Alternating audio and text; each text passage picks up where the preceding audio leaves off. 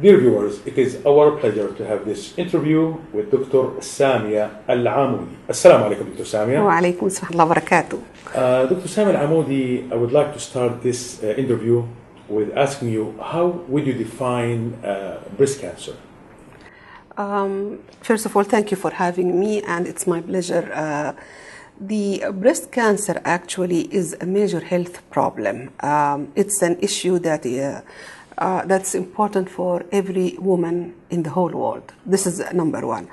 Second thing, it's a very important uh, issue because, uh, to a large extent, there are ways to for prevention and for early detection, and the early detection is the tool which is the best for prevention. Um, when we explain what does it mean to have cancer in a simple way, usually uh, our body consists of cells, cells that divide regularly in orderly fashion. Sometimes, for one reason or the other, something happens in the cells so that they will multiply and they will grow in uh, without control. So instead of growing regularly, they will grow in a way which is not controlled, and they will start to form the swelling, which is called a mass or a tumor. Most of the tumors, most of the masses that we feel in the breast or particularly in the breast, 95% they are benign. We call them benign because they are localized, they do not invade tissue, they do not travel outside the area. I see. Once they start to invade the other adjacent neighbor tissues or travel, then it uh, goes with the um, terminology of malignant tumor or cancer. This is in a simple way. What, what, what is the best treatment for uh, breast cancer, Dr. Samia?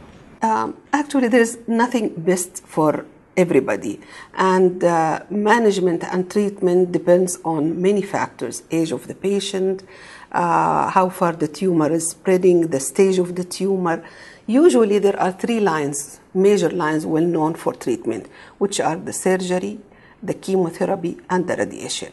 Not all the patient will need all the three lines and not all the patient will have the same kind of surgery or same kind of chemotherapy. So it differs from one person to the other.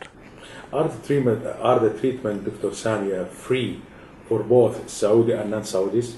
This is a very good question. Uh, actually, we are lucky uh, to have the access for cancer treatment free in Saudi Arabia. Uh, and this is uh, what uh, is um, beautiful about it because this is the equality in healthcare. Unfortunately, in other countries, it's not. And we know that uh, cancer therapy is very costly. It costs a lot. Exactly. It's very expensive. Uh, but uh, for the Saudi, it's uh, free in the governmental hospitals. Of course, unless the patient chooses to go for a private uh, sector. Mm-hmm. For the non-Saudi, until recently it wasn't, but now there is uh, access for cancer patient to have the treatment in governmental hospital for free.